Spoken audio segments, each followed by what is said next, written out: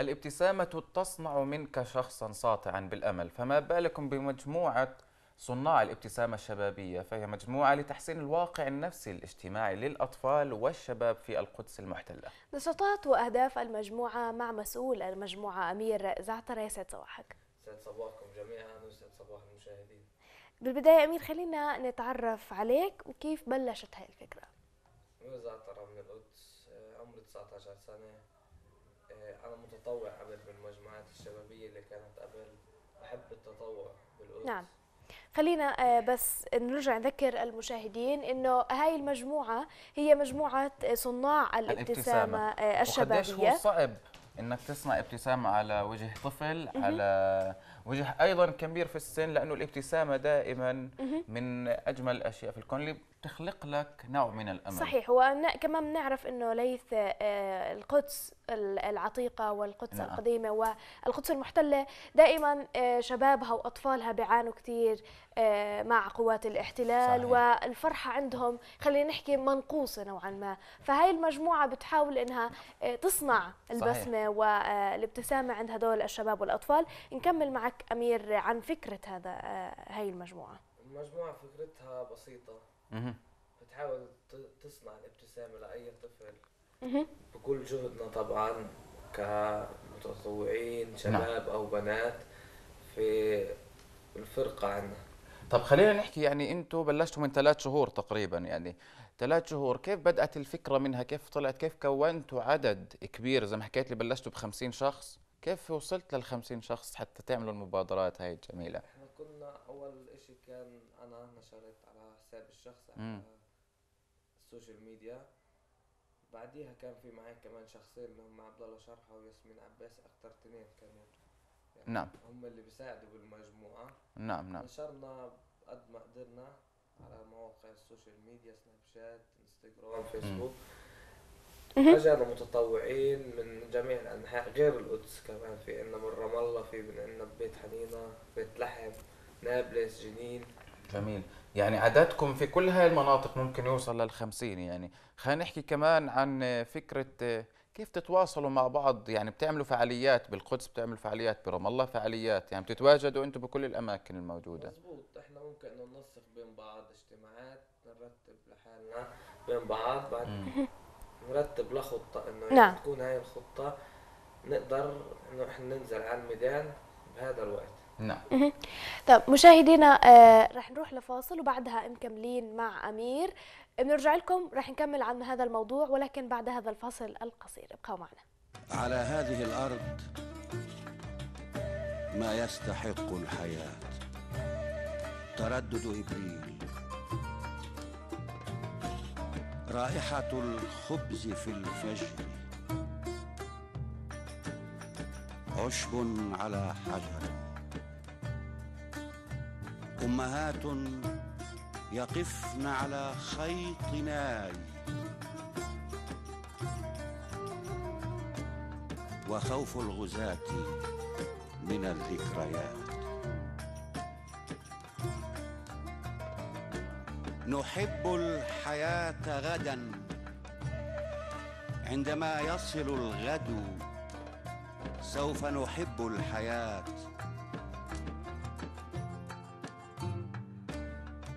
على هذه الأرض ما يستحق الحياة.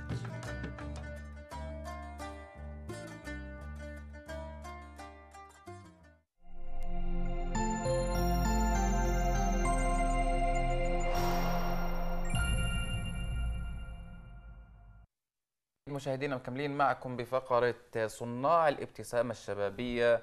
مع مسؤول المجموعة أمير زعترة مكملين معك أمير يعني كنا نحكي قبل الفاصل بأنه أنتم عددكم كبير من مختلف المناطق في فلسطين. أول مبادرة لو تحكي لنا عنها كيف تم التخطيط لها شو عملتوا فيها؟ أول مبادرة كان تخطيط لها من عن طريقي طبعا كنت جامع أصدقائي اللي هم ياسمين وعبد الله إنه نرتب لهذه الفعالية. كانت أول واحدة في باب العمود. طبعا إحنا انتقلنا بمبادرة بعديها كانت اسمها مبادرة يلا على القدس اللي هي كانت داخل سور داخل سور البل- البلده القديمة مم.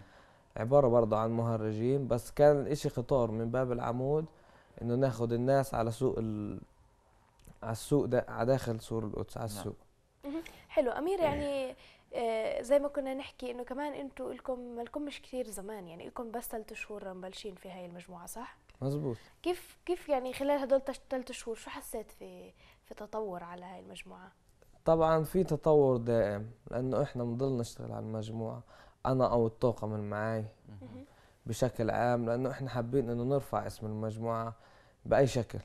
طبعاً. يعني كل أسبوع تقريبا عندكم بكل كل أسبوع عندنا فعاليه اذا فيش عندنا فعالية بنشارك طيب يعني أنتم بتحتاجوا كمجموعة اليوم لمركز لمكان يلمكم مع بعض حتى تفكروا وتخططوا. يعني هل معتمدين على ال social media في التواصل مع بعض ولا عندكم مكان ممكن الناس حتى تزوركم فيه تتعرف عليكم أكثر تنضم لكم أكثر؟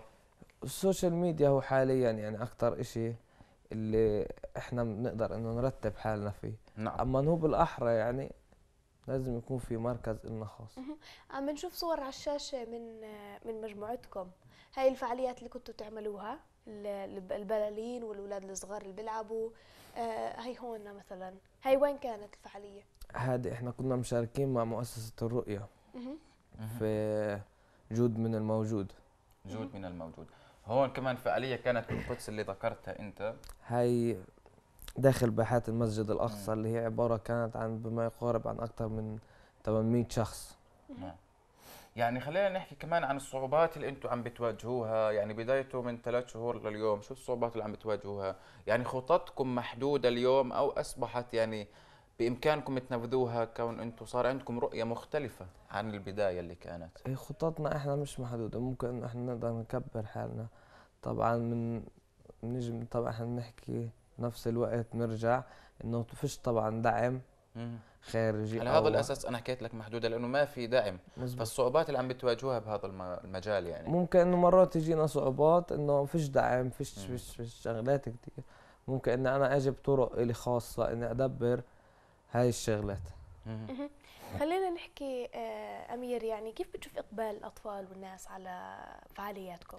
إقبال الأطفال طبعا هو ترفيهي لهم ممكن انه يعني الطفل يكون مروح من مدرسته أو بالبيت محشور أكتر يعني بروح من المدرسة على البيت. عن نفسه. فالإشي بيكون ترفيه حتى كمان بروح يعني الكبار أكتر من الصغار. بدهم يرفعوا عن نفسه بدهم الكبار أكتر عن ولكن. يعني صعوبة إنك ترسم بسمة على طفل أو كبير بالعمر صعبة. شو بتعملوا لحتى ترسم الابتسامة؟ أنت راح تجاوبني عليها عارف شو الجواب. قابل الابتسامة بالابتسامة. طيب يعني كمان يعني كمان بالرغم إنه في يعني فعاليات بتكون ترفيهية أيضا بتعملوا توعوية آه، مبادرات توعوية تثقيفية كمان للأطفال لأنه نحن بحاجة كمان لاطفالنا يكونوا مثقفين. مع مين بتتواصلوا حتى تعملوا مبادرات توعوية سواء عن الإسعاف الأولي أو غيره يعني؟ ممكن مع مدارس ممكن مع جمعيات قبلنا. إنه في ناس قبلنا عندها خبرة فيش مشكلة إنه إحنا نتواصل معها. ونسألها هذا الإشي بالنسبة. لنا شو خططكم الجاي يا أمير؟ إيش بتفكروا تعملوا لقدام؟ حاليا في خطة لأشياء جديدة أشياء ما انعملتش طبعا إحنا بنحاول إنه أكتر إشي الفعاليات الخاصة فينا تكون غير عن الكل أو مم. تجديد أو تغيير للفعاليات يعني لو حتى بمهرج أو أي شيء يعني أكيد نتمنى لهم كل التوفيق يعني صناعة الابتسامة شيء جميل على الأطفال واكبار بالسن يعني مسؤول آه، المجموعة أمير زعتره نصيحة هيك بتوجهها للاعضاء معك بالفريق لحتى يكون عندكم طاقة أقوى آه، إرادة حتى حدا اقوى حابب ينضم لكم كيف ممكن هذا ينضم المكان لكم؟ أول إشي بالنسبة للمتطوعين أنا بحب إني أشكرهم كتير لأنه المجموعة عمودها المتطوعين مم. وأنا بالنسبة إلي يعني إنه مرات بواجه صعوبات بلاقي المتطوعين هم اللي بيسندوني. داعمينك. داعميني بهذا الإشي أكتر إشي. طب وإذا حدا حابب ينضم لك عم بيسمعنا حاليا على التلفزيون ممكن على صفحتي الشخصية أو يتواصل على صفحتنا على الص- الصفحة على الفيسبوك على صناع الابتسامة الشبابية. مهم. جميل. خلينا نحكي آه، آخر إشي آه، أمير قبل ما نختم هاي الفقرة آه، شو ضافت لك ال- ال- المبادرة هاي والمجموعة على صعيدك الشخصي؟ على الصعيد الشخصي إني صرت أكتر حابب مهم. أعطي أكتر. مهم. يعني أفكر أكتر لأنه إشي جديد أكتر. بنفس الوقت نحاول كمان مرة نغير. حابب تضيف إشي بالختام؟ أكيد طبعا. حابب أشكر يعني أشخاص هم كانوا داعميني مش بالمال ولا ولا بأي شيء كانوا معنوياً. والنفسية. أصدقاء قد ما حكيت عنهم مش راح أحكي. طبعا أبوي أخطر إشي هو اللي كان يسندني وفي كمان أخ صديق إلي بشار أبو شمسية عبد الله شرحة محمد أبو صبيح حمزة مسودة ساعدني آخر فعالية إلي. أبو العبد أبو سنينة. هتذكرهم. كلهم هيك عشان ما حدش يزعل منه. ما أيوه. يعني آه، شكرا لك آه، أمير زعترة مسؤول آه، مجموعة آه، صناع الابتسامة الشبابية. دائما نتمنى لكم مزيد من التقدم والنجاح. شكرا. مشاهدينا ننتقل لفاصل وبعدها مكملين. ابقوا معنا.